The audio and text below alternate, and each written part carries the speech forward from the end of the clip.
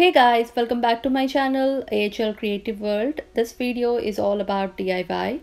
So this beautiful DIY I have uh, made using wood and uh, this is a welcome board sign which you can very well make yourself and I have given the traditional and Indian look for this name board. So as you can see the design itself is uh, it gives a very positivity and uh, brings in a lot of uh, nice look so the omkara is uh, such a powerful thing you can keep it in front of the door isn't it so let's uh, get into this video on how i made and what and where I purchased this wood. So I have uh, shopped the uh, wooden frame or wooden plank areas in like Lowe's. Uh, so you can very well get this wooden plank uh, in Lowe's or Home Depot. So I have uh, finally purchased this uh, according to the size what I need I'm using spray paint to paint this wooden plank. So you do not need any gesso or anything. Uh, so if you do not have a spray paint I would suggest you to use uh, gesso as a primer coat uh, like uh, in the white color and then add any of the color of your choice. So if your walls are in light color I would prefer uh, a darker shade. So it's all up to you whatever the shade you want. I've got like this sage green. So I've given two nice coats and after once it's all dried up then you can very well start painting or uh, sketching up uh, on whatever the design you have in your mind.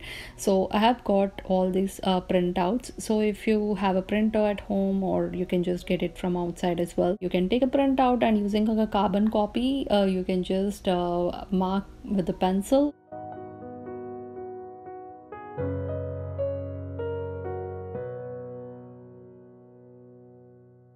as I'm showing here. So once you draw everything with the pencil uh, you can see the light marks.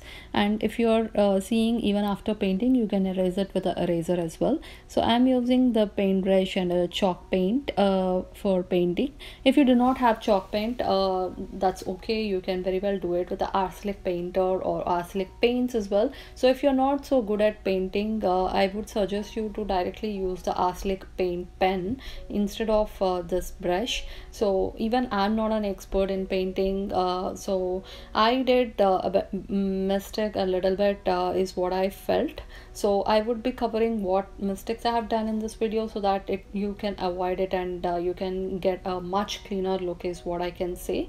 So once uh, you add everything with a paintbrush uh, so for finishing i'm using this acrylic painter pen. So very well you can use only the acrylic painter pen or uh, if you are good at uh, painting with the brushes uh, you can completely use the brush. So just finish nicely with the touch of the paint pen. This will be this will gives a nice clean look and it will be easy as well. So once you transfer this lotus and this is how it looked and uh, for namaste i have used a different font from the original sheet.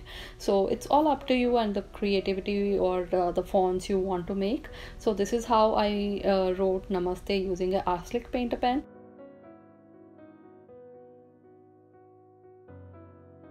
and now coming to welcome sign. I have used again the carbon copy paper and uh, transferred everything uh, and once i uh, sketched everything down uh, then using a acrylic painter pen I have wrote everything down here. So I just wrote only welcome to our not home. So instead of home I'm using the, another different uh, printout I'm showing here. Again using a carbon copy uh, paper will transfer it and for home instead of om i'm using this omkara sign so it's all up to you if you want to use the same way or you want to use like h-o-m-e which is home. So uh, i wanted like a more indian style as well as omkara to be uh, you know uh, front of the porch that gives a nice look and uh, you know it's a different creativity as well. So uh, once you have done all the painting i felt like on top and bottom it was uh, like kind of empty so i have used uh, stencils here a bit so I try to start painting with a dabber and a chalk paint by sticking this, uh, you know, uh, like masking tape. Uh, and I have used uh, this in my earlier video also and I have uh, given lot of details on the earlier vid video on how to make uh, uh, wooden frame or tray painting. So if you haven't watched that video i would leave a comment in the description. And also i felt after painting this on the top it was more clumsy so i had to repaint everything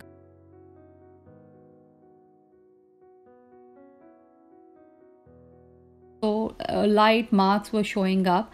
And then I have given the same uh, line in the bottom. So bottom it was uh, giving a nice look than on top.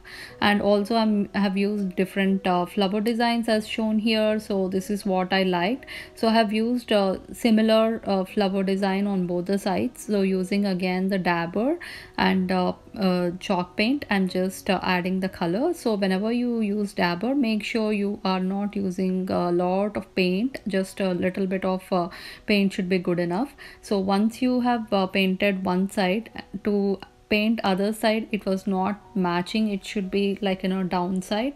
So i had to you know remove everything using a wet tissue paper so that the paint is gone and then again flip it onto the back side and uh, put the design such a way that it is uh, showing in parallel on both left and right as uh, i'm showing here.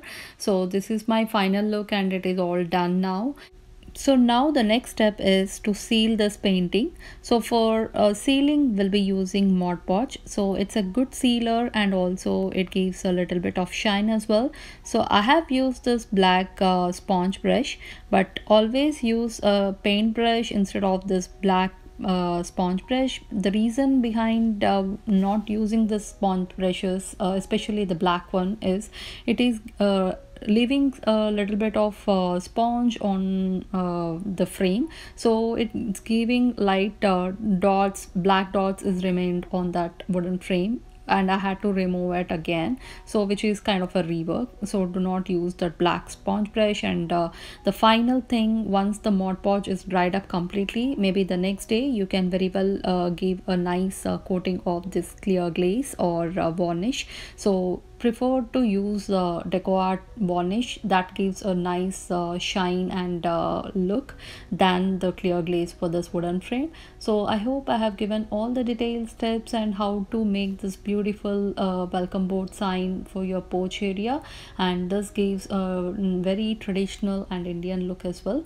And if you have liked this video please do like share comment and uh, also subscribe to my channel and turn on notification bell as well. So let's make our homes more beautiful with the DIYs and I'll be meeting you all in my next video. Until then, take care. Bye-bye. Thank you very much for watching.